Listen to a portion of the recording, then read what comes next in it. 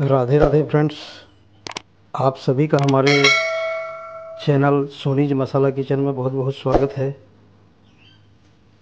तो चलिए बनाना शुरू करते हैं।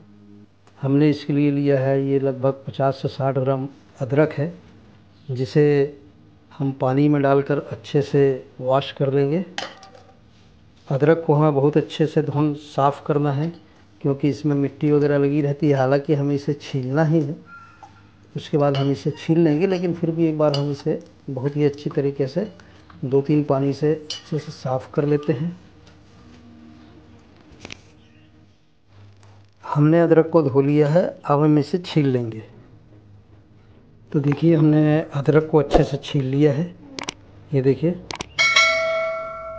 अब हम इसे एक मिक्सी के जार में डाल देंगे।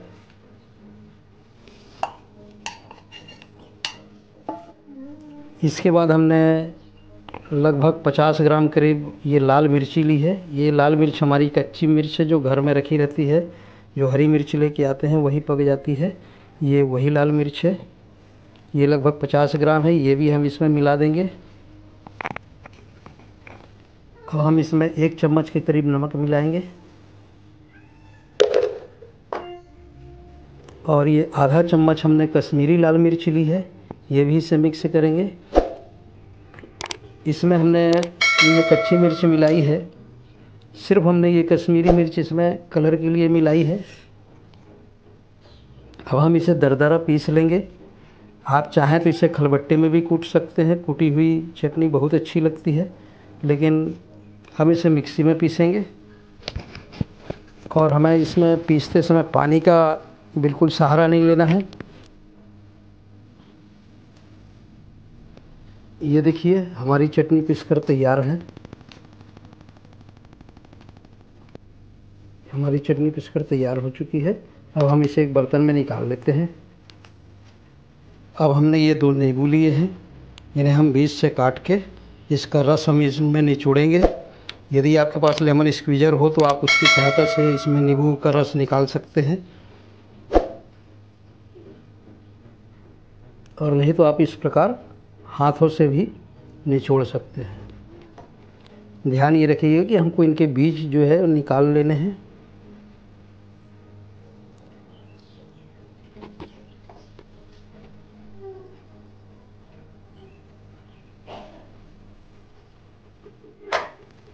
हमने सारे नींबू का रस इसमें मिला दिया है।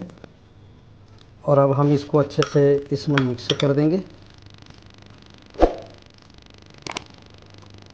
यदि इस चटनी को आपको काफ़ी लंबे समय तक चलाना है तो आप इसमें ज़्यादा नींबू डालें ताकि हमारी चटनी नींबू के रस से भीगी हुई रहे। तो ये काफ़ी लंबे समय तक चल जाती है और यदि आपको दो चार दिन यूज़ करना है तो आप इस प्रकार भी इसको यूज़ कर सकते हैं, ये ख़राब नहीं होगी।